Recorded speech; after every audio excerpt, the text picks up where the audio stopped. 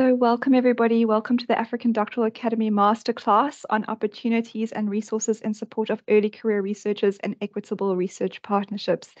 My name is Natalie Kavalik. I'm the program manager at the African Doctoral Academy, and I'm joined by our two guest speakers, Dr. Beate Knight and Dr. Juliana Bertazzo from the Association of Commonwealth Universities. Dr. Beate Knight is head of programs at the Association of Commonwealth Universities leading a portfolio of research and education capacity, strengthening programs in collaboration with member universities and other partners. Dr. Knight has a long-standing interest in supporting and enabling international equitable research partnerships.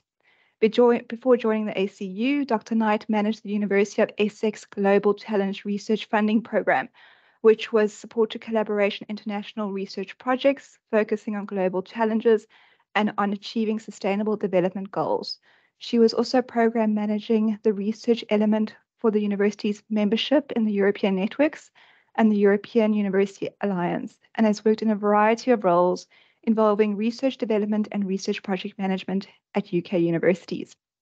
We also have our second speaker, Dr. Juliana Bertazzo, who is currently the Senior Membership Engagement Manager at the Association of Commonwealth Universities, where she connects several groups within nearly 500 member universities. Dr. Bertazzo has worked for over a decade in multiple roles in non-for-profit organizations, government, higher education, science and innovation sectors. Following an international academic career as postdoctoral research associate and teaching fellow, while as an academic, she has also delivered commissioner research papers, data analysis and project management for think tanks in the UK, Germany and Brazil, and has also spent two years teaching a postgraduate course at the University of Oxford. They will be speaking on the topic of opportunities for engagement with the Association of Commonwealth Universities. their work in access and inclusion, academic mobility, and the SDGs, as well as international collaboration, including their newly launched Equitable Partnership Toolkit. So we welcome everybody. Um, after the session, we will also open um, the session to a Q&A. Um, my two colleagues, Camilgelo and Luther, will also be assisting with the Q&A section. And just a reminder to everybody that um, we are recording the session and we will be providing a link on our website um, if you would like to view it at a later stage. So welcome, and I will now hand over the platform to our presenters, Dr. Knight and Dr. Bertazzo. Thank you. I think I'll go first. Okay. Yes. Excellent. So, um, yes. Good afternoon, everyone, or where you are. Still good morning here, but it's great to be with you.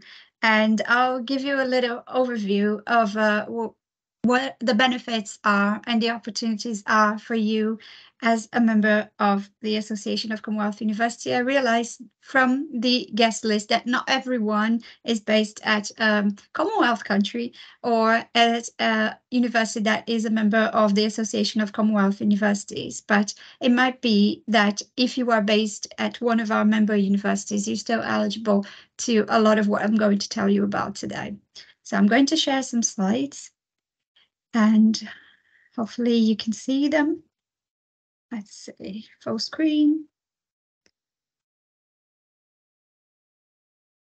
Okay, are you able to see my slides? Just, yeah. Yes, perfect. Yeah, right, brilliant. So I'm telling you uh, today about the opportunities and resources in support of early career researchers available from membership of the Association of Commonwealth Universities, or ACU as we call it. This is a global network of universities because Commonwealth countries are spread across every inhabited continent of the world. And we support international collaboration between these higher education institutions to tackle global challenges as in the Sustainable Development Goals, create educational opportunities through programs and uh, uh, scholarships, fellowships, and projects. And we strengthen universities in their missions now uh, by uh, engaging with everyone from vice chancellor level to professional services staff to faculty to students. And uh, so we are one of the largest university associations in the world with around 500 members in around 50 countries and a great uh, um, uh, a great uh, characteristic of the Commonwealth is that we have low and middle income countries and high income countries, well resourced and less well resourced universities. So we have a great diversity of uh, our membership, and we reach a combined audience of about 10 million students, of which you have heard, and about 1 million academic and professional staffs. We're uh, spread across Africa, Asia, Caribbean, Americas, Europe, and Pacific, as I mentioned. And you are a student member of the ACU if you are an ACU member university and you have access to all these opportunities that I'll tell you about today. So why would you engage with the ACU? To connect um, to um, our staff, students across the Commonwealth, to learn from one another and to influence policy. How do we do that? We have accredited status as the only um, uh, higher education institution accredited uh, to talk on behalf of the Commonwealth. So we have representation at the Commonwealth Heads of Government meeting, at the Conference of uh, Education Ministers of the Commonwealth, and also at UNESCO and the United Nations. Uh, we go and uh, speak at this for every opportunity we have every year at UNESCO and the UN, and every time the heads of government meet. So we um, uh, have been uh, able recently to um, make sure that the importance of higher education, not just basic education, is recognized at the highest levels by the heads of government and the education ministers in the Commonwealth. And we're uh, we've been uh, taking our members, and this is um, a lecturer. Well, this is not her photo. I have a, a slide with her own photo. Uh, but uh, she uh, has been a representative of the ACU in COP27. So we go to COP every time they meet. And uh, we um, last time we were represented by our future climate research cohort. And uh, Beth can tell you a bit more about that because that's her area of programs. And I'll just leave it at this. But the Commonwealth is really um, a place where two out of every three people that are young people in the world are living, and two thirds of the Commonwealth are under the age of 30. So this is the year of the youth in the Commonwealth. And last year, just last week, we've had a meeting of um, youth ministers uh, here in London, and uh, we've had awards for um, people in the Commonwealth that have been really active, have been active in issues that matter to other young people in the Commonwealth as well. We have all these opportunities for representation of young people in the Commonwealth, and I do encourage you to take part if you can.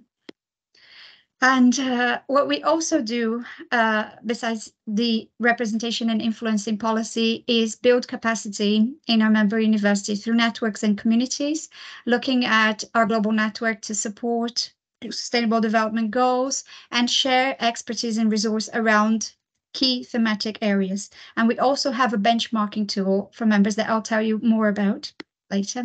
So we have five thematic networks that uh, are open to researchers such as yourselves and around areas that are very um, relevant for the Commonwealth. So that cut across the membership. Uh, and we are going to tell you, I'm going to tell you quickly about them. They're member led, they have their own budget, so they can organize their conferences, support projects that um, would uh, be uh, disseminated for learnings across uh, the membership, and they would also uh, be able to give awards and grants. So we have good numbers uh, for each of these uh, thematic networks, and the themes are peace and reconciliation, climate resilience, the Sustainable Development Goals, uh, human resources in higher education and supporting research community. And this supporting research function goes from libraries. We've recently had the um, University of Johannesburg Library Conference that we support every year to finance officers and uh, people such as Natalie and uh, uh, uh that uh, support research also at ADA.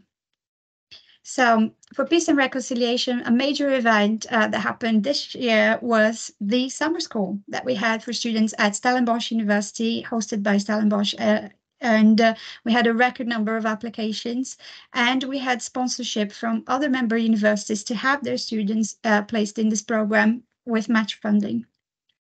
And so we had um, students coming from all over the commonwealth from to uh, be in multicultural groups, looking at apartheid to transitional justice, and also bringing their own perspectives coming from New Zealand or Canada, talking about First Nations and reconciliation and justice processes connected with that. And uh, it was a huge success, and we're very proud of it. For climate resilience, uh, a highlight is uh, the um, the the challenge grants, which highlight uh, basically and give support, fi funding support to uh, members who have innovative projects in their institutions or uh, through international collaboration that could be disseminated for learnings. So we have this example of um, a person who was awarded a challenge grant from the Commonwealth Climate Resilience Network. And uh, from the Higher Education and the Sustainable Development Goals Network, we have um, a note from the special advisor, which is Professor Budd Hall from Victoria University in Canada. And he was able to have a vision for Commonwealth universities that we see everywhere. Commonwealth universities are engaged, decolonizing, community oriented, and a place of action. They're less worried about rankings and more worried about the impact they have in the world. And by doing so, they really build this uh, momentum around them. So that's what we want to see as a result of uh, these networks. And for the Human Resources in Higher Education Network, we've had a series of events, uh, that this was last year, around adapting to the new world of working, emerging from the pandemic, flexible working, remote working. So they exchanged uh, uh, ideas and uh, talked about the challenges for HR departments everywhere. And for supporting research community, we've had the launch of ACU Measures, which is a survey that uh, allows universities themselves to better understand how they're dealing with challenges uh, across uh, funding and the, the life cycle of bidding for awards and uh, supporting researchers, training researchers, and then looking at gender gaps and looking at a lot of different elements of the supporting research function. And I'm going to tell you a little, I'm going to show you a bit of what it looks like. So this uh, is an example of a dashboard that came out of uh, about 100 universities across membership re replying to our call for answering the survey. And uh, we're looking at a mix of diverse universities and uh, by public and private universities, other kind of universities. So in uh, 29 countries. And we learned so much from this. Um, not it's an anonymous uh, survey, so we're not ranking individual universities. We're looking at trends that apply to uh, areas or apply to type of universities. So this is the general overview of all the respond the responses that we've got. And then looking at Africa in particular, so we have how the uh, career development provided is provided is it through training or workshop provision? Is provision of uh, sabbaticals or mentoring schemes. Is there dedicated support for the career researchers? So you can learn a lot also about how university uh, values research uh, in as a whole in the system. And you also have uh, ideas around the number of publications and how this is uh, a criterion for promotions or for research targeted targets within the universities and looking specifically at Africa, number of PhD degrees awarded, value of grants. So there's a lot that we can learn from this survey, and I can talk more about it in questions if you like. It was also very much talked about in the media and uh, I can talk about general uh, findings of the survey as well, if you like. Uh, but this supports our networks because uh, the universities themselves are able to learn about the research function across departments and institutes and different units. They have a whole view of how research is supported in the university and they also look at regional activities you know looking at how this varies from region to region from country to country if we have enough data on country and uh, this will this is open all year so universities can always uh, give us the information and access the dashboard I'm coming back to a view of the ACU, and I'll leave partnerships and programs to my colleague, uh, Beate. But um, we have partners uh, that you can see in the slide that we work with and uh, that uh, help to deliver capacity everywhere in collaboration with other members. And I'm going to focus on you, students, and how you can get involved with uh, the ACU through the opportunities that we offer. So there is a uh, Commonwealth Scholarships Commission, for which the ACU provides uh, the administration of the grants. And these are a selection of grants available for low, middle, and high income countries. And uh, one good example that I really like uh, is the split-site PhD scholarships. I chose to highlight this one because it gives PhD students anywhere in the Commonwealth an opportunity to go to the UK for 12 months and to access research uh, equipment or research um, um, uh, resources archives or any uh, uh, opportunity for collaboration that's time limited and then students go back to their country and but the collaboration stays on. It's something that you carry on but uh, avoiding the brain drain if you will and we can talk more about it as well but this has been um, yeah um, uh, south africa is one of the top countries for split-site uh, phd scholarships so i thought i'd bring that to your attention but also available to any uh, student phd student in the commonwealth and uh, there's the Routledge Roundtable Commonwealth PhD Studentships. And I'm particularly fond of this scheme because uh, you don't even have to have uh, the Commonwealth as a topic of your PhD. You could be studying something else, but what you get from this studentship is a commissioned research paper in a Routledge journal that's called Roundtable. So it's a massive achievement for a PhD student to get published before the end of your PhD and in a very uh, widely recognized journal. So so you would have to work on a paper uh, um, on a uh, this academic peer-reviewed article that uh, you get funding for it. And then you get a mentor that's also funded uh, for the duration of the award. And uh, you get published so it just ticks all the boxes uh, and it's really exciting to see it's mostly around the humanities but also around public health you can give if you can give a commonwealth angle to the research that you're doing you'll be eligible to apply and we have Com Queen Elizabeth Commonwealth Scholarships, and uh, these are uh, unique in the sense that they promote uh, mobility from anywhere in the Commonwealth to select low and middle income countries. Um, it's a two master's degree also, so it's a, a, master's by research in some countries or an MPhil.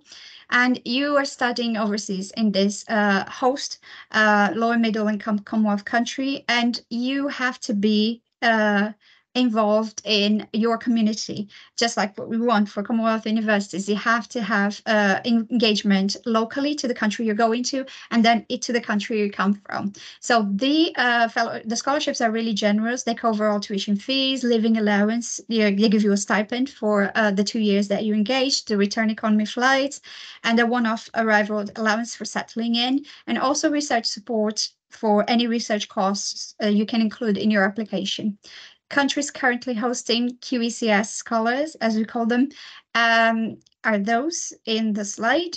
And if you are a citizen or hold a refugee status in a Commonwealth country, you're eligible to apply. If you have uh, completed the, undergrad under, the undergraduate degree in your country or another country with a second class division honors or about a pass uh, in uh, South Africa, for instance, you can apply. And to learn more from the website, I'll share the slides also with uh, the people who have um, registered to attend. And Natalie, you can get that from Natalie as well.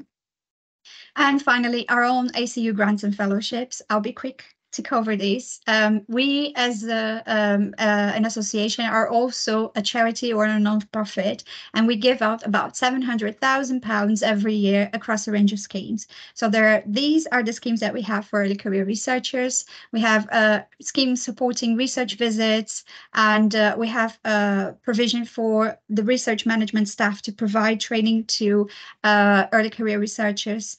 And we have conference grants and the fellowships that I mentioned. We have challenge grants connected to our thematic work in the networks and communities. And uh, we have gender grants, uh, both administered by the ACU on behalf of the Martha Farrell uh, Foundation and our own gender grants for uh, our gender initiatives that I can tell you more also in questions if you like. And one program that I'd like to highlight that is not one that uh, Beata is highlighting, hopefully we're not repeating ourselves, but this is uh, the Commonwealth Virtual Exchange Program, which is also a commitment to enabling people who have uh, who are unable to travel and go abroad and stay for a, a period of time. We're uh, providing virtual mobility and then they can meet people around their home country but uh, meet others online. Uh, they might have um, you know, care responsibilities or other commitments that uh, prevent them from taking this opportunity. But with this program, they can. It's a collaboration across uh, countries with a member uh, members universities in different continents and uh, we were able to focus on employability leadership skills listening to our members they asked us to prepare students to be job creators not job not just job seekers when they graduate and uh, I wanted to give a bit of overview about ACU in South Africa, but I think I'll leave it at that. You know, we've had a number of visits. Uh, we've met with National Research Foundation, and we looked into uh, partnerships with ARUA, and looking into uh, supporting a number of initiatives uh, when we visited. And this is our representation in South Africa. We have members uh, from South Africa in our uh, governance units as well and in the supporting research network. And a regional representative based in Nigeria, but who travels around Africa also on our behalf. And uh, in the past five years, we've had a number of our awards and scholarships given in South Africa, about 62 awards uh, in the past five years across a range of schemes. And finally, I want to talk about the difference that we make as an association of Commonwealth universities can be, can be seen across uh, access and inclusion, across international mobility, and a commitment to sustainable development goals. And you can get involved. So I uh, would be pleased to talk to you about these opportunities, but I'll pass on at the moment for to my friend uh, Beate and my colleague to talk about uh, programs and our Equitable Partnerships Toolkit.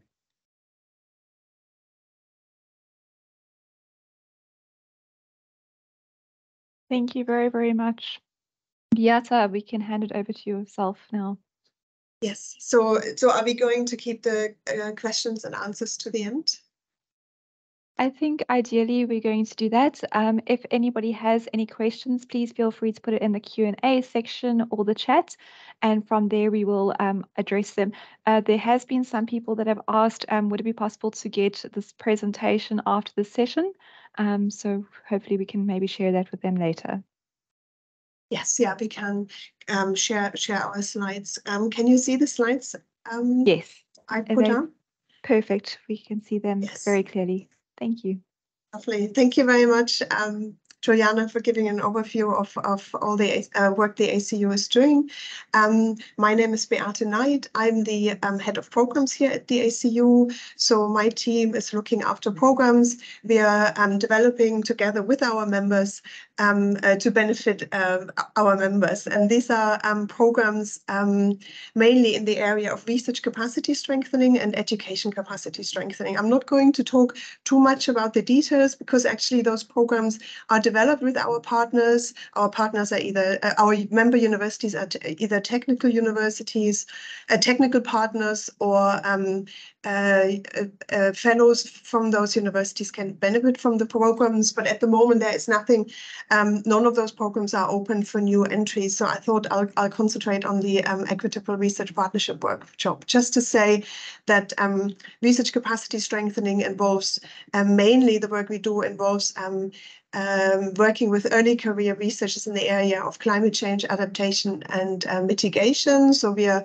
um, uh, having uh, fellowships funded by the British Council, for instance, at the moment, that helps early career researchers to work with policymakers and stakeholders very early on uh, along the research life cycle to make sure that um, research is informed by current challenges policymakers have, and there's a close collaboration to ensure that there's actually impact from research. And uh, there's a a range of skills required for that, and that's what we're concentrating on on our um, research capacity strengthening work. And in terms of education capacity strengthening, we have funding from the Australian government to work at the moment to work with the universities in West Africa, in Ghana and Nigeria, work with academic staff there to move from 100% face-to-face teaching to blended learning, where digital content is provided to, to help to have a blended um, teaching mode, to deal with um, larger student numbers, but also to um, yeah to move into the 21st century and um, increase the the interaction face to face and move from pure classroom based um, teaching. But what I wanted to do today is um, to talk to you about a toolkit we recently developed um, that is supporting our member universities or researchers in general to, to develop equitable uh, research partnerships. Um, so supporting equitable research partnerships is a, is a, is a big goal um, for, the, um, uh, for our association because as you've heard, we have quite a diverse membership base. We want to um, support our university to universities to collab collaborate with each other, and that um, uh, involves quite um, a number of different universities at different locations with different funding backgrounds, and um, we want to ensure that those collaborations are equitable. And so we do a lot of policy work around equitable partnership um, generation, um, but we also wanted to actively to support our member universities because um, universities are increasingly conducting research in collaboration with international partners to tackle the global challenges we all face.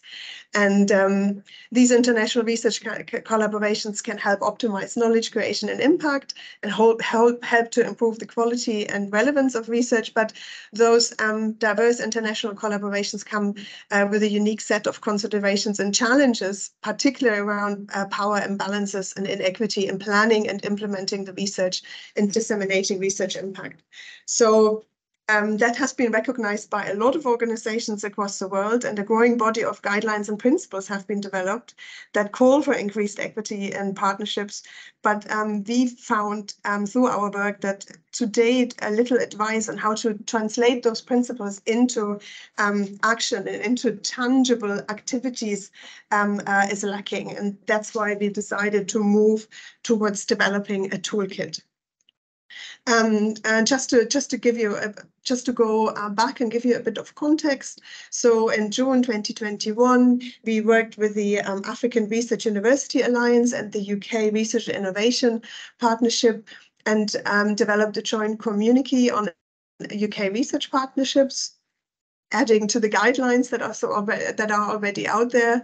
Um, we also um, uh, and then we oops sorry um, we also recently signed the Africa Charter for Transformative Research Collaborations in Africa, um, which has been developed by the University of Cape Town, the University of South Africa, and the Peri Africa Research Center at the University of Bristol, which is very much focusing on um, transforming collaborations between North and South um, uh, universities and ensuring and and funders and uh, the whole ecosystem um, uh, and recommendations to to ensure equity around those collaborations. And what we would like to do with our toolkit is to support um, the um, to support the implementation of those equitable uh, partnerships.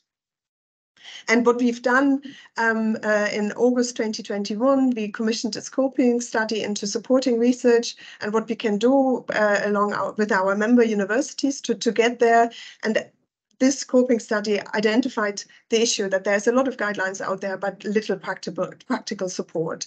So that then led us in August 2022 to commission um, the development of an equitable research partnership toolkit. And I really would like to thank um, here um, Michelle Brear and uh, Pink Shabangu, who's been then working with us to develop this toolkit. Um, and Michelle, she's a participatory health and development research and writing specialist with a PhD in public health. And she has extensive experience in implementing complex mixed method social science research in low and middle income countries. Um, her aim is to understand how community contexts in which health and development interventions are implemented influence participatory processes and um, how their expected and unexpected health and development incomes are, outcomes are influenced. And she has written extensively about the ethics of participatory and partnership research and the power dynamics that underpin, underpin women's participation in unpaid informal caregiving to promote health. And Michelle is currently working as a postdoctoral researcher at the University of Witwatersrand in Johannesburg, South Africa. And then Pinky is an early childhood educator and researcher who has worked herself uh, in a lot of global North-South programs and uh, in community academic research partnerships. And she started her research career in 2012 as a community co-researcher and activist uh, and is now um, working as a research assistant and she works very closely with um, Michelle. And as you can see, both are were highly qualified to uh, to to work with us to develop that um, equitable uh, partnership toolkit. And uh, we worked on this in 22, 23, and then the toolkit was launched uh, this year in April. And uh, what uh, what was the actual methodology which was applied? So Pinky and um, Michelle informed a range of stakeholder consultations. So worked with seven academics um, with qualitative interviews, and six out of those seven academics were from the global south. And um, and also worked with uh, 10 senior stakeholders on equitable partnership uh, program, for instance, from the UK CDR uh, program here in the UK. And also uh, both um, uh, performed an uh, extensive literature review on equity in partnerships and worked with 30 prominent resources. There's an example of this there. Um, oh, I can't. Sorry, I can't now move my slides. Apologies. Can you still hear me? We can hear you perfectly clear. Okay. There we go. Now that there we go. just, just got, stuck. For a second. it happens. Yeah. So, so on the literature review and also um, the uh, stakeholder interviews and also a survey um, uh, which we performed, which had 100 responses across um, North and South um, uh, uh regionalities um, showed that there is a considerable and abstract guidance about equitable partnerships and there is a lack of practical tools. So basically the, the survey and uh, the, the research um, uh, confirmed our um, our observations, but we wanted to make sure it's not just um, um, us here at the ACU who had this uh, um, feeling.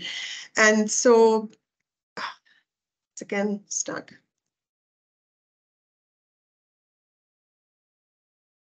Not sure.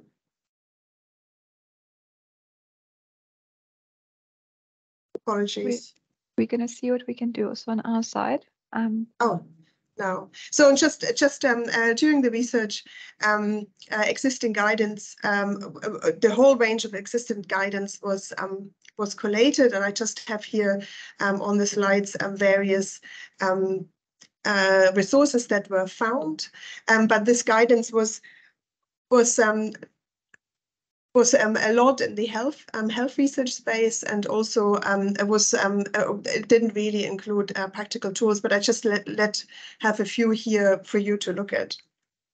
Sorry, I'm struggling with my PowerPoint. Um, so what did we then decide to do? So we decided to, do, to do adapt existing uh, tools because there are a lot of participatory, participatory learning tools out there. There are a lot of generic partnership tools out there. And what, um, what we decided to do is um, uh, build on existing um, uh, tools out there and making sure that they are particularly focused on research partnerships, on international North-South research partnerships and um, with a particular focus on equity. And um, so when we used um, existing tools and adapted them for our toolkit, um, we made sure that we um, uh, shared um, this information with the authors of those toolkits and also had them review them so to see that they are still happy um, with the way we are using the tools and also how we adapted it uh, to our equity angle. And all authors were, were happy and of course very happy to have their tools used in a different context. And um, we developed 20 tools that uh, can be used at different stages of a research partnership. Um, the focus is very much on North-South, as I said before, but actually there's a lot of equity issues in other uh, collaborations. So um, when uh, academics work with community actors or in multidisciplinary and other research partnership contexts. Um, so those tools can be used here as well, but our focus is really on North-South uh, collaboration. And um, the uh, these toolkits can be used by everyone who's involved in um, uh, in the collaboration of um, in research collaborations. So that are researchers, obviously, but it can also involve the project managers, practitioners that are involved, and also community actors. It can be used by research support staff, but we also feel it can be used by funders to ensure that equity is very much um, at the forefront of everyone's mind, uh, even when funding calls are being um, established. Um, our tools are designed to stimulate dialogue and critical thinking and to raise awareness about um, multiple dimensions of equity for funders to better understand the meaning of equity from different perspectives, um, and also looking at multiple factors that influence um, equity in a positive and a negative way. But what um, very much uh, underpins all our tools that there are actions that can can be taken and can be identified to enhance equity in partnership. And so all the 20 tools can be used very flexible, uh, can be decided on by each collaborations which tools to use and when to use it, and really to make sure that uh, to decide to identify tools that are best suited for their partnership. And um, and we also um, um, have in, uh, included instructions to to use it very quickly or to use it in a very intensive way, just to make it sure it's really usable. Um, so we um, develop 20 tools um, and have always, and they are um, structured in the same way and have a section on why and when to use the tool, how to use the tool, um, has rapid and intense use options, and also we have different instructions for using it uh, in a face-to-face um, uh, in a face-to-face way or virtually particularly in North-South collaboration, often it's really difficult to get everyone in the same room. And also, um, we always have instructions showing what are the expected outputs and what the expected outcomes of using the tool. And here's an overview. As I said before, um, we have tools that can be used in, at different um, uh, time points in a collaboration, and we have um, structured the tools so it's um, um, possible to see it right away uh, when to use it. So um, uh, section one are for tools that um, are focused on building understanding and awareness of equity within the research collaborations. There are a lot of different actors working together with different backgrounds, and uh, it's very important to, to define um, right at the start of a partnership what everyone understands uh, under equity and then maybe come to a common understanding across the group. Section two is um, uh, looking at stakeholder identification and analysis. Who do we need to have um, in, in our partnership to reach our research goals and supports this, and then also supports equity around the stakeholder interaction. And then section three is looking at uh, envision, envisioning, achieving, and assessing, assessing um, the desired partnership impact and has um, three tools under this section.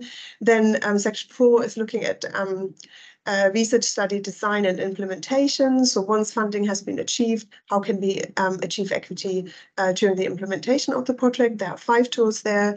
And then section five looks at monitoring, evaluation and learning. So these are uh, tools particularly suited to looking at did we do everything to achieve equity and um, what have we learned if we didn't quite get there and what can we do better next and then section six is a, a list of checklists that can be used which are particularly practical. And then oops. Sorry. Um, and then also um, each tool then um, has again I, I showed the different six sections, but then each tool then also has recommendation when within the research life cycle it's best suited to be used. So that um, and we put these research life cycle into four stages. That's the planning stage, the implementing stage, the disseminating stage, and the sustaining stage. And then each tool has um has a rating on uh, when it is best used. So in this case, it's best used at the planning and at the sustaining um, stage. And so this is all a very abstract. What I wanted to do is to actually show you um, our toolkit, which is available on our website. And so I just have to, and I also have the link. So when we are sharing the files, you'll be able to access it. And I hope I get to the website now as well. There we go. Um, when you follow this link, this is um, uh, the site that is then opening. It gives again a, a short overview of um, our toolkit. How did we get there? And then an overview of the different uh, tools I showed you so far. And then you can actually go in into the tools. And I just show you um, one of one of the first tools. Um, and that is the Equity Cafe. It's built on the uh, it's built on the World Cafe. It's tool one. You can see that here, Equity Cafe. Um, it's very. This is a tool that can be used to um, to really discuss equity um, within the partnership. What does everyone um, understand under equity? And it's um, I'm sure all of you have been in a World Cafe before. Um, it's essentially a way to bring people together um, and discuss um, common topics. In this case, it's equity. you, let's say you have 20 participants, you split them across different tables and then have different discussion points uh, on each table. Participants move around and uh, at the end, um, it can be um, uh, discussed and uh, and uh, different issues can be um, highlighted there. And just uh, as you can see here, we explain how how to set up this um, equity cafe. It can be uh, in a room, but it can also be virtually. And then we have guidance on what what different themes can be discussed. Sorry, I hope I don't make you all dizzy here looking through uh, what different themes can be discussed on each table. And I just hope I get there just to show it to you. Here. So, um, so the overall discussion uh, in this tool one would be what is that equity? What can equity look like? And uh, and then, as I said, um, there are different tables or breakout room if it's uh, if it is um, a virtual um, way and um, different discussion points um, for each table could be um, capacity building. How can you build capacity to ensure equity? What means equity in terms of authorship? What in terms of authorships for publications? This is something we find uh, should be discussed really early on. What is equity? What means equity in terms of data ownership? Who owns the data um, uh, that are generated as part of the partnership? Where are they being stored, who has access to the data, really important to discuss that early on. Um, research agreements, um, um, discuss how equity can be uh, reached as part of um, uh, the research agreements. Um, um, inequalities, what are potential inequalities? How can they be highlighted? how can they be reduced? And then equity in terms of communication, making sure that everyone has the, right channels of communication that that reaches everyone involved in the partnership, then and also funding. How can we make sure that there is equity in funding, and also how can we make sure there is equity around data? So so there is a lot of different topics that can be discussed. Everyone in the partnership is contributing to um, uh, to the understanding around those different topics. Everyone has the ability to to um, to contribute to the different points that are collated, and then everyone hears um, everyone's standpoint. That's the really important bit. And uh, it sounds very basic, but often that's not being discussed. Often a, a consortium is thrown together because a funder requires um, certain partners, and all those issues are not being discussed. And this is the way to do it in a very transparent and open way. But then you might say, oh, this is not very, and, and then uh, at the end of the day, obviously every table um, has uh, ends up with a, a, sticky note, and then um, uh, everyone sees what has been discussed on this table, and um, the main points are then agreed on, and everyone uh, that can be circulated. But this is still all quite abstract. I just wanted to show you another tool, and I hope um, we still have time to do this. Are we okay with time? We have plenty of time, so continue. um, I just uh, wanted to show you another tool, which is in section five, looking at monitoring and evaluation. But um, it actually ends up with an Excel spreadsheet. As I talked about tools, um, I wanted to show you how this looks like. Um, it's just one of those. And just to say that all those um, uh, so this is not uh, just a web page you can look at it. You can also, and just have to jump to it. Um, there are um, tools you can download and work with them. So this is tool 17. It looks at partnership equity. And this is uh, just a different way to collate um, uh, information um, from each partner and how they view equity across different um, topic areas. And I just wanted to show you hear that you can actually um, uh, download a template, which you then fill in as part of the partnership. And I just, can you st can you see what I've downloaded here? On Yes. the downloads, yeah. Can you see an Excel spreadsheet? Not, Not yet. yet. You have to, you have to share the spreadsheet. Okay, also. I go back. There we go. Me struggling with technology. I go out here. And um, as you've seen, I downloaded that spreadsheet. And partners are filling this in. So this can be done. Um, ideally, this is done. Um, every partner fills this in um, individually, and then partners meet either in person or virtually to go through um, this spreadsheet together and identify areas that can be uh, improved. And um, this is this is a way to to assess um, the equity um, uh, that exists across those different partner, across different criteria. Uh, you can see here um, we've shown shown here criteria around purpose, the impact, and then there are questions underneath uh, underneath this. So under um, uh, purpose, for instance, are our partnering goals, values, and objectives clearly articulated? Then um, uh, the partner looks at this question and looks at and gives it a score, um, saying no, a zero to yes, fully. And then there's another question, where were the goals, values, and objectives agreed up and through a process involving northern and southern partners? Again, it can be assessed by the partner. Everyone, ideally, everyone in this partnership fills this in. Then there's a, a section on impact. Is the partnership delivering the expected results? Are the results and impacts relevant to the Southern research partners?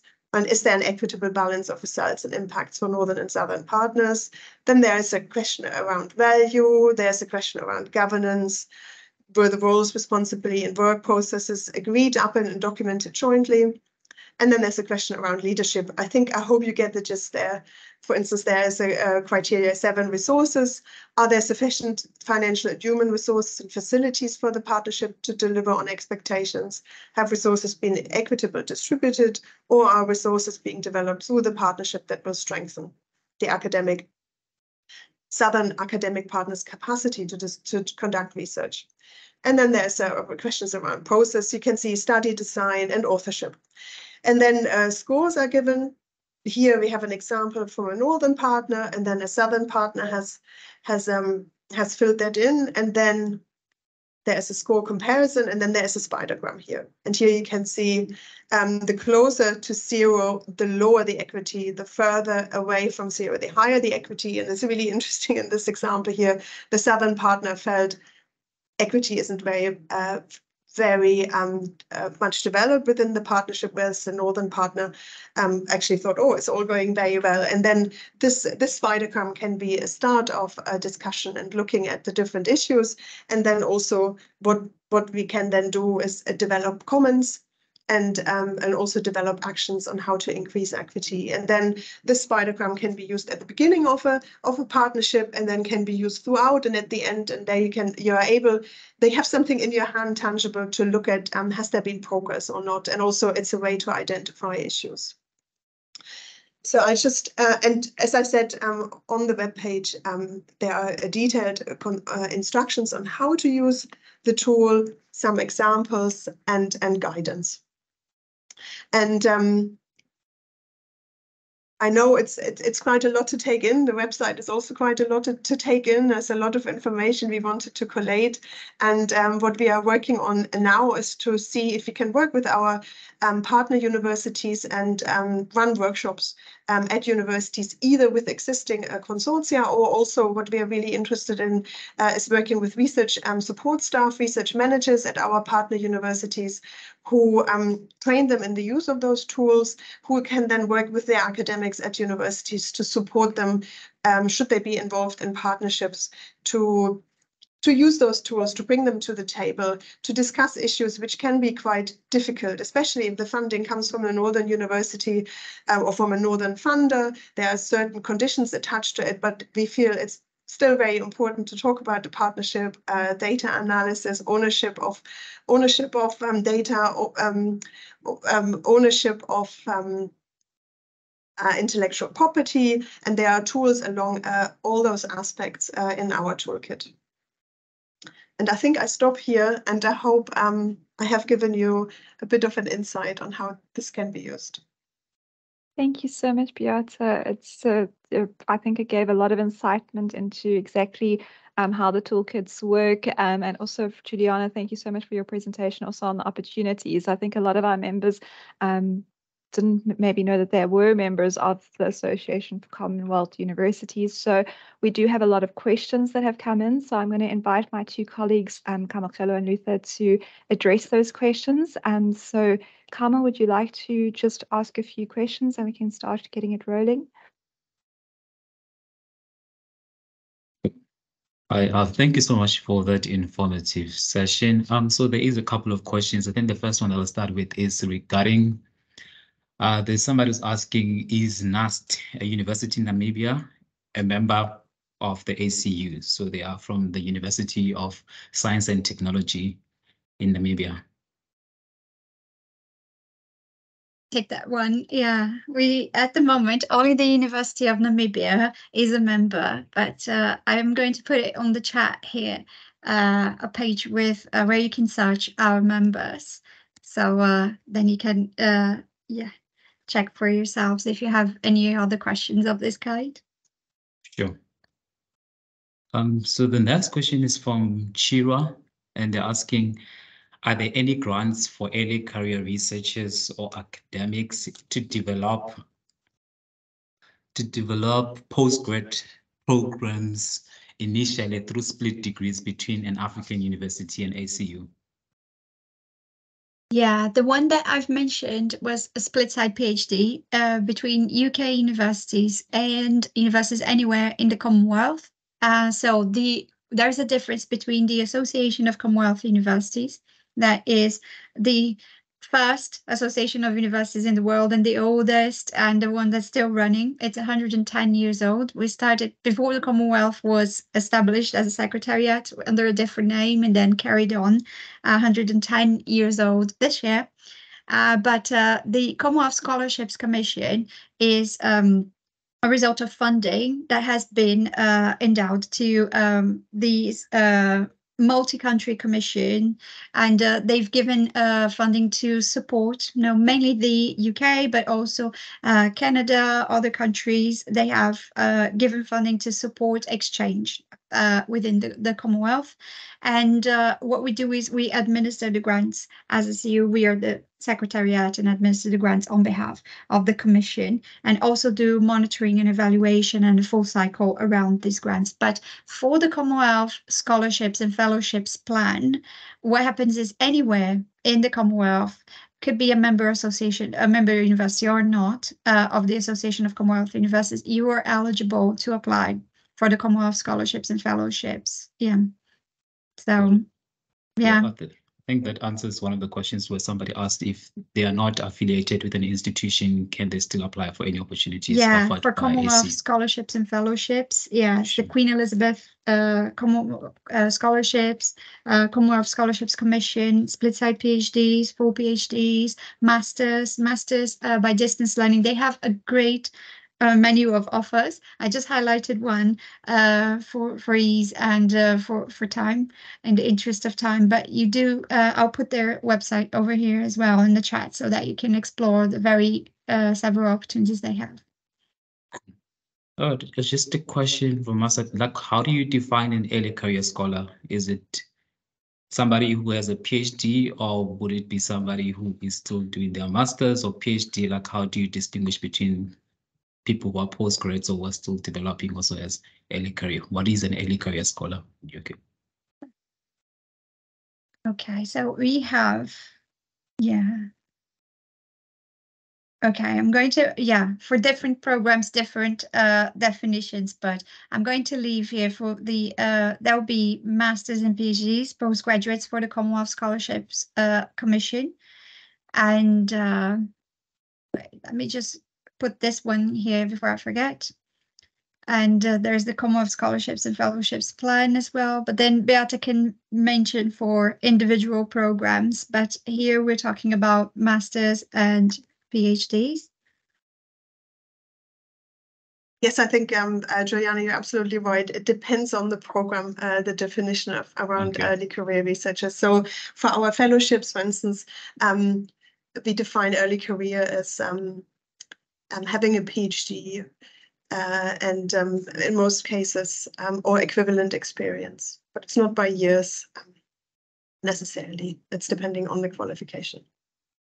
Okay, um, so I have a question for Beate. So I think a couple, so if somebody, I think you mentioned something regarding the toolkit about an equity cafe. So I'm just wondering, like, if the equity cafe, is said something about it, an equity cafe where people oh, Our sit equity together? cafe. Yes, an equity cafe. So I'm wondering, like, for an early career scholar who doesn't necessarily have, what it- who doesn't have, who's still start starting up within their careers. So, like, how is it best to actually get access to those cafes? Because initially, for to form partnerships, is if you still, if you just graduated from a PhD, you obviously do not know so many people. Like, how does the equity cafe work in itself? Does can one join from a member country and just to get exposed to different partners, or do they have to source out a partner themselves and then start using the toolkit?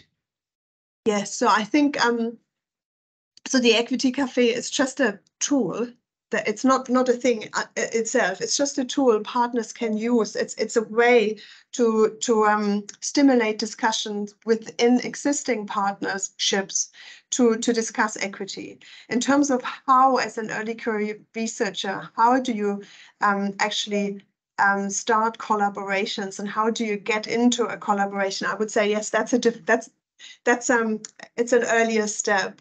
And uh, i guess in a way our fellowship our scholarships or fellowships help this by by having a mobility element to go to someone else's group to and then work let's say you're an early career researcher in someone else's group make sure that you're involved in in those partnerships and discussions and and get exposure um, this way I would say what we really uh, would like to do is, um, as I mentioned before, work with partner universities, work with research management support staff to to um, to demonstrate how the tools can work.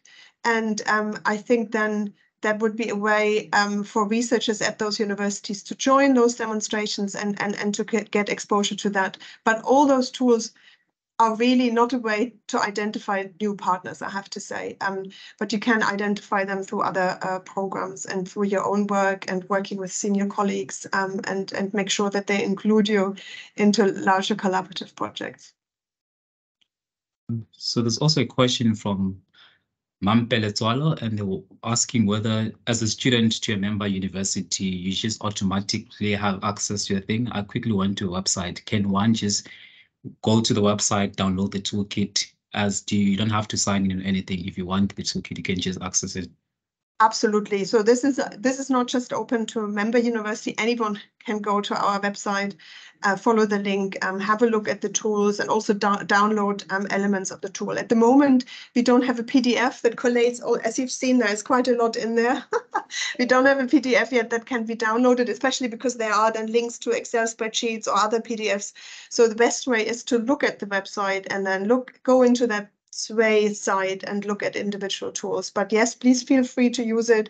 We really want it to be um, used by by research um, researchers. And also what we would like to do, have a bit more of a focus program where we work with existing collaborations to evaluate and monitor the effectiveness of those tools. So that's a piece of work um, we want to do in the next few months. Um, so I'm asking this question. I think a couple of people are asking also regarding uh, conferences and if there's funding for that. So if I'm a PhD student, can I get apply for funding to attend a conference from the ACU? And do you have exchange programs concerning their research projects? Can does one have to find an ideal supervisor from a partner institution and then apply for a an exchange program or does it have like research structured exchange programs offered by ACU itself? Okay, so I've uh, I've included here um, a definition. You know, this is the most restrictive that we have. It's ACU Early Career Conference grants. So applying for funding to attend a conference and or organize a conference, it could be. But then this would be researchers or academics at ACU member universities who are within seven years of the start of their research or teaching career, unless they've had a break. Uh, and they can tell us about it. They can be PhD candidates as well uh, but they must be employed because this is for organizing a conference or attending a conference. And so this is the most restrictive one, but then the others will tell you if you are a PhD student or not. So we have an overview and we're going to publish very soon. You know, we have an overview of our funding opportunities um, here. And uh, I'm going to put it on the chat as well. So you can see it before you even get the slides. But um, yeah, so in re response to the question, yes, you can apply for funding to uh, attend the conferences and you can also join our networks. Like I said, the networks are member led. They are governed by steering committees elected uh, from people who decide to join the thematic networks.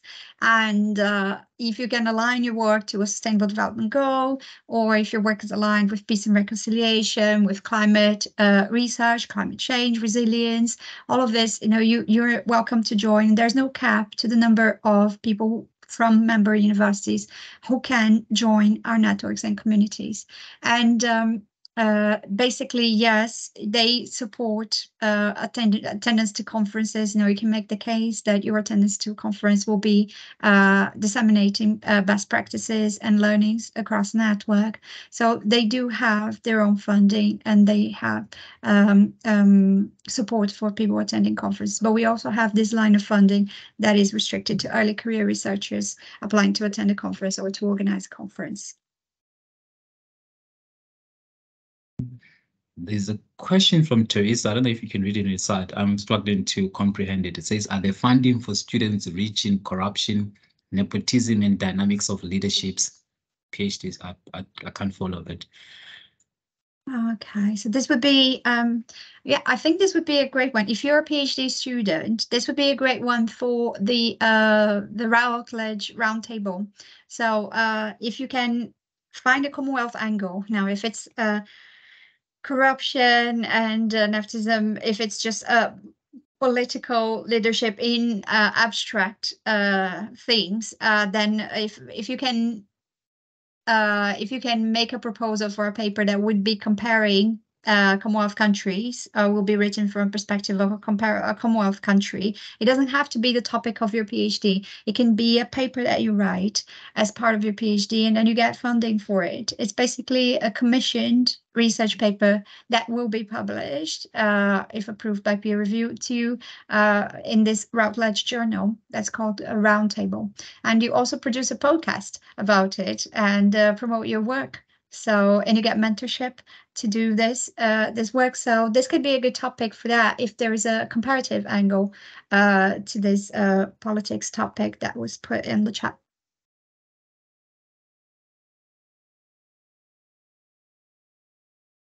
Um, Natalie, do you have any questions or something? I can't see any questions on the chat. Okay, so there are still just a few, just in terms of um, just how does somebody get involved in terms of membership if they have not been part of a member before? Can they go to your website? Do they have to? Um, how can they go about that? Yes, they can go to our website. There's a join us button on the website, and uh, they'll be able to apply uh, to join the ACU and be very welcome. You know, uh, eligible universities will be any universities who have been around long enough to have graduated a cohort and uh, to have a minimum number of about 250 um, full-time equivalent uh, students um, in, in their campuses and um, basically yes committed of course to the values of uh, basic values of democracy and uh, respect for one another and uh, building a better world in general uh, as part of the, the Commonwealth, but uh, this is uh, for Commonwealth countries only. We do have in our membership um, universities that are not based in countries uh, that are current members of the Commonwealth. We would call them legacy members because we've been around for longer than the Commonwealth and countries may come and go uh, from the Commonwealth. But if they were already our members, we can keep them. So we have members in Hong Kong and other countries that might have been a member of the Commonwealth before but are not currently. But to join, your country has to be a member, one of the 56 members of the Commonwealth. Okay, so it has to be one of the 56. Okay, Yes. interesting. Okay, and then um, so I think that actually asks one of the uh, questions of, you know, please, is it required to be a member of the Commonwealth before applying? And in this particular case, it would be so. Yes, um, it is, is it required? I mean, um, as a country or as, um, because if you are, you know, I noticed that in, uh, the registration list for today, there were, uh, people who, uh, said they were based in other countries that are not Commonwealth countries, like Japan or Colombia even. And I would say if you are a student or a member of staff, professional services or faculty, in a um, university that is a member of the ACU, then you can apply for the opportunities that are available to members, regardless of your nationality. If you are a citizen of a Commonwealth country or you have refugee status of um, in a in a in a Commonwealth country, one of the 56 Commonwealth countries, then you're also eligible apply to apply for the Commonwealth scholarships and fellowships plan uh, opportunities, including the Commonwealth Scholarships Commission, which is the um, the UK Foreign uh, Office and uh, Foreign Development Office. If that answers your question, yeah, No, as a does. Uh, person and, or as a university, yeah. I think it definitely does answer um, from both sides. And then just another quick question. It says here, do you provide funding if one has an accepted abstract to join and present a paper at a research conference? So my understanding is this person has been accepted, but will there be some sort of travel mobility grant uh, in order for them to to present this type of a paper? Yeah, that would have to be through the cycle that we have every year. So we have um we have opening uh calls, I know opening dates and closing dates. They're going to be published very soon for for this year. And uh, what we do is um these early career conference grants. So if you are an early career researcher who has this paper accepted, and normally, yeah, it would uh, be within seven years. Like I said, no, I put it on the chat of your or your your PhD, or if you're still doing your PhD, uh, if you are employed. So that there are some conditions. We'd have to be more specific about that. But there is funding to support uh, attendance at conference for early career researchers uh, under these conditions and eligibility requirements. Thanks very much. And then just in terms of Beate, um, with regards to the the toolkit, so anybody um, can access this onto the website and they can download it, and then it would be professionals that could use it, any member university, anybody that's looking at trying to connect. Is that correct? Yes, that's correct. Okay, fantastic.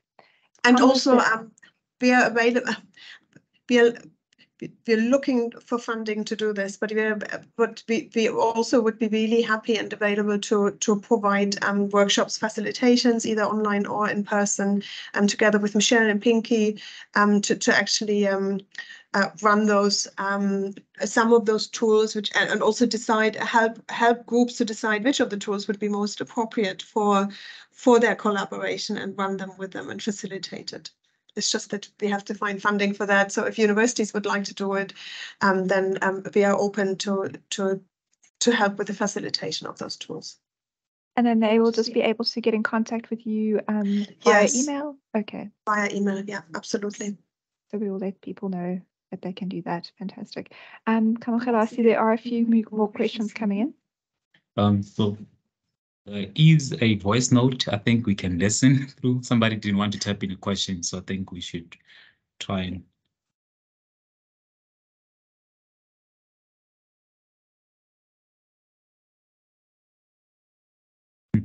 No, there's nothing substantial coming from that.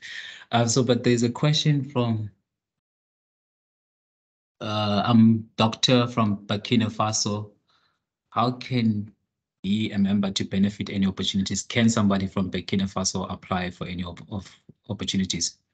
Yeah, I'll put a list of Commonwealth countries here. Now, uh, I think it might be useful, yes, to to have this. Not we don't have um, representation like members in every country of the the Commonwealth at the moment, but every member country of the Commonwealth is eligible.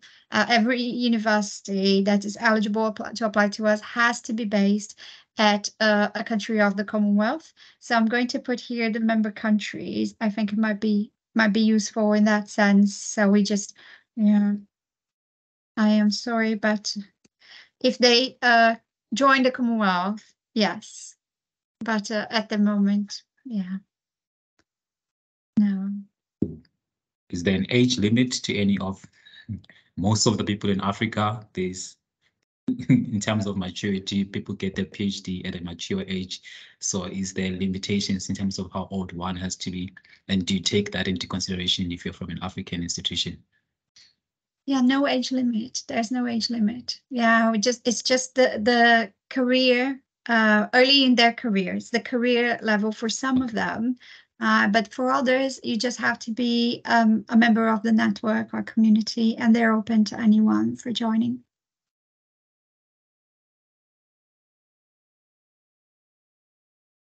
Excellent. So I don't know if there are any more questions or on your side, Carmel. No. If there are any questions at a later stage, um, please let us know and we'll be happy to address it. I do see somebody has put their hand up. Um, normally the mute function is not uh, working on guests. Um, however, we can try um, to see if we can unmute. Unfortunately not, we can only do a camera. So if we can ask that person to please put their question in the Q&A section, we will be able to address it with our presenters. Um, alternatively, if you'd like to let us know a little bit later, we can also do that. Um, but yes, so the slides will be available and we will circulate that from our side. And then, of course, the session is recorded. And so we're happy to share that with everybody um, on our website. And big thank you to Juliana as well as Beate for presenting it. I think it was a very enlightening session because I do think that a lot of people that have joined um, were maybe not as aware um, that they will be able to uh, apply for these types of opportunities and grants. And also on the toolkit side, I think it's a very useful tool for institutions to use. And it's it's great to know that you're also um, open to doing collaborations and facilitating and offering more support. Um, there was one other question just about a person I know that was doing a research in Europe, but we're wondering if they could still apply if they were part of a Commonwealth university. Is that possible? Uh, yeah, we'd have to see what they're interested in now. So we have um, our members in Europe, um, the UK, um, Malta, and um, we also have, um, sorry, Cyprus uh, in the UK. So they would have to be, um, yeah, hosts, I suppose, for uh, for one of these opportunities. But as part of our programs, also there are eventually opportunities that open up or with collaboration as well so our our, our funding is very open most of them you know will have no discipline attached to them they would have topics that are uh, in connection with the Commonwealth. So you'd you you'd have to say, you know, if you want support for a collaboration that you have already in place, or if you want to join networks and then um, have a, a, conversation and then start a collaboration. And then we also recommend that this collaboration is built on sound, sustainable, and equitable basis. But uh, from our side, it's just very open the support that we give and uh, where there is a thematic um, interest connected to it, it will be very clear as well. So it's hard to speak in a very abstract terms, like are there opportunities in Europe? Then you would have to uh, to see whether you want to study, and then you would have uh, opportunity to study in the UK as a result of um, uh, being in a Commonwealth country, being a Commonwealth citizen for the Commonwealth uh, scholarships and fellowships plan. And uh, in other places as well, now there might be uh, scholarships being held, uh, hosted by um, Malta or uh, Cyprus uh, through their governments. And uh, you would have to go to the website. I'll just put Commonwealth scholarships and fellowships plan here as well for other countries in, in Europe if they are hosting um, then you'd be able to see. Fantastic. Yeah. Excellent.